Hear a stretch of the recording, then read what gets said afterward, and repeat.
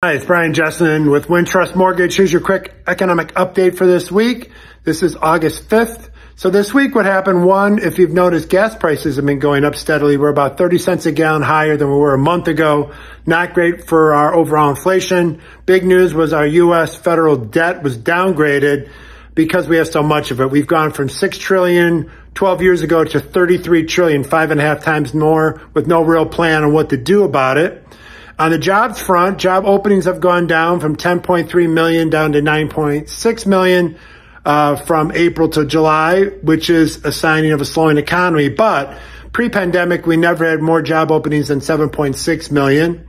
Some issues though from Friday's uh, U.S. jobs report. There's a little less new jobs than expected, 187,000 versus 200. But the previous two months, were downgraded by another 49,000 less jobs. So kind of trending in the direction the Fed would like.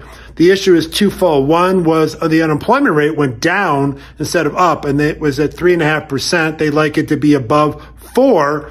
And the biggest thing is wages with the employment picture still being rosy. Wages went up 0.4 percent year over year.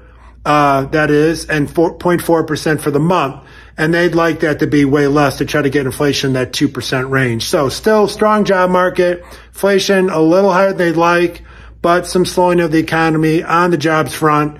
Uh, and less job openings. So Brian Jessen, Wintrust Mortgage, let's have a conversation. Enjoy your weekend. Please get a hold of me. We have some new exciting programs I'll be rolling out next week. Bye now.